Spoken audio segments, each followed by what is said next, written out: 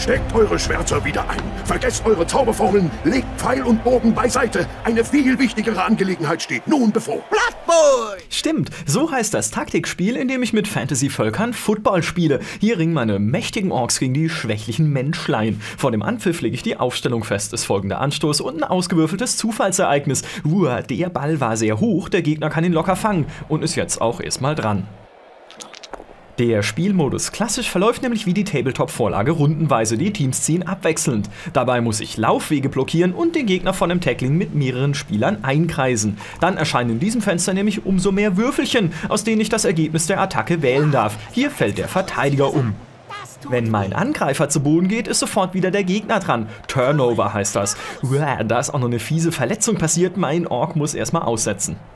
Außerdem darf ich pro Runde mit nur einem Spieler sowohl ziehen als auch angreifen. Ich muss mir also gut überlegen, wen ich wann wohin bewege. Und was ist beim Football nochmal das Ziel? Richtig, Touchdowns. Also schubse ich meinem Ballträger den Weg durch die gegnerische Hälfte frei. So, jetzt noch ein Pass, dessen Genauigkeit ebenfalls ausgewürfelt wird. Uah, sieht schlecht aus. Deshalb setze ich einen meiner zahlenmäßig begrenzten Wiederholungswürfe ein. Und diesmal klappt's. So kann mein Ork schließlich zur Grundlinie durchrennen und BAM! Touchdown! Jedes Volk spielt sich übrigens anders. Hier trete ich mit den flinken Waldelfen an, die kein Problem haben, den Hieben der Echsenmenschensaurier auszuweichen. Außerdem passen die Spitzohren geschickt. Dabei ist auch immer der Glücksfaktor wichtig. Wenn ich Würfelpech habe, kann alles schiefgehen. Im Umkehrschluss darf ich mich aber nicht nur aufs Glück verlassen. Der Schlüssel zum Touchdown ist die richtige Taktik und die hängt natürlich vom jeweiligen Volk ab. Die Zwerge etwa sind sowas wie die Panzer von Blood Bowl, langsam aber kaum kaputt zu kriegen. Hier treten sie gegen die Skavenratten an. Zum Vergleich, dieselbe Partie im Echtzeitmodus. Wow, was ist denn das? Die Ratten schnappen sich einen Ball, Schlägerei in der Mitte, der fette Rattenoger mischt sich an den Zwerg, geht zu Boden im Mittelkreis, stapeln sie die Bewusstlosen, noch ein Zwerg am Boden. Ja, in Echtzeit spielt sich Blood Bowl natürlich actionreicher und hektischer. Um trotzdem die Kontrolle zu behalten, gebe ich meinen Zwergen Verhaltensmuster vor. Grün bedeutet neutral, rotes Dreieck aggressiv, blaues Dreieck defensiv. Mein Blocker versucht hier gerade den Ball aufzusammeln. Jetzt hebt das Ding endlich auf. Ja, na also, Pause, ich muss neue Anweisungen geben. Und zwar sollen meine Zwerge die Ratten in Schlägereien verwickeln, um sie vom Ballträger fernzuhalten. Ich könnte auch versuchen, das Leder zu passen, aber das mit Zwergen keine gute Idee. Mein Plan geht tatsächlich auf. Der Blocker stürmt ungehindert gen Grundlinie und Touchdown!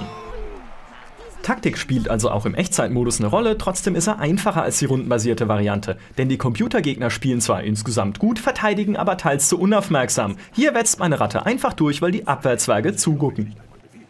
Und diese Chaos-Tiermenschen überlegen ewig, ob sie den Ball aufheben sollen. Nimm du ihn, ich hab ihn sicher. Lass lieber liegen, könnte eine Bombe sein. Stimmt, heutzutage weiß man nie. Ah, Tiermenschen. Sei es drum, dafür spielt sich nicht nur jedes Volk anders, auch manche Sportler haben eigene Talente. Zum Beispiel kann ein Troll der Goblins kleinere Mitspieler werfen, was nicht immer gut geht. Die meisten Fähigkeiten sind aber passiv, der Todesroller der Zwerge etwa ist einfach besonders gut im äh, Verletzen. Vor dem Match kann ich zusätzliche Spieler anheuern, darunter auch Stars wie diesen Pickelhaubentroll. Danach kaufe ich Spezialfähigkeiten, zum Beispiel Bestechungsgeschenke für Schiedsrichter. Mit den alternativen Blitzregeln gibt es hier deutlich mehr Optionen. Zum Beispiel kann ich meine Spieler mit Zaubertränken dopen. Und mit diesem Minispiel trainiere ich einen Sportler, um ihn für diese Partie zu stärken. Außerdem werbe ich Cheerleader an, zum Beispiel Elfenblumenmädchen oder die munteren Humpenschwinger der Zwerge. Nur wenn diese Jubelbrigade das Publikum anstachelt, darf ich Zauber auslösen. Mit Chaosmagie verleite ich hier einen Gegner dazu, seinen Kumpel zu kloppen. Ein Hammerschlag. All das gibt's auch im Karrieremodus. Hier erstelle ich eine eigene Mannschaft, deren Spieler Erfahrung sammeln. Bei Stufenaufstiegen bringe ich ihnen neue Fertigkeiten bei. Dieser brutale Zwerg etwa fault fortan, ja, halt noch brutaler. Geld verdiene ich durch gewonnene Turniere, die ich auf dieser Übersichtskarte wähle. Allerdings fehlt dabei auf Dauer die Abwechslung, die Partien verlaufen immer ähnlich. Und auch Kommentare wie Diese Schönheitsoperation kommt sicher billiger als im Krankenhaus. Ich glaube zwar nicht, dass er das so geplant hat, aber viel schlechter als vorher würde nicht aussehen. wiederholen sich arg schnell.